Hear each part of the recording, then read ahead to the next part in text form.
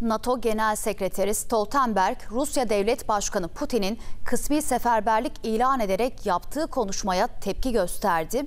Nükleer savaş asla yaşanmamalı ifadesini kullandı.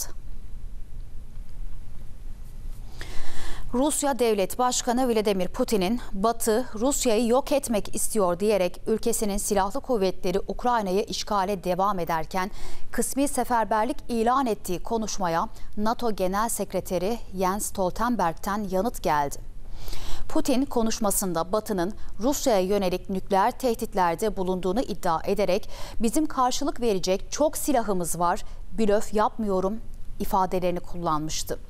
Stoltenberg nükleer savaş asla yaşanmamalı dediği konuşmasında NATO'nun Moskova'da nükleer silah kullanımının ciddiyeti konusunda hiçbir yanlış anlaşılma olmamasını sağlayacağını söyledi.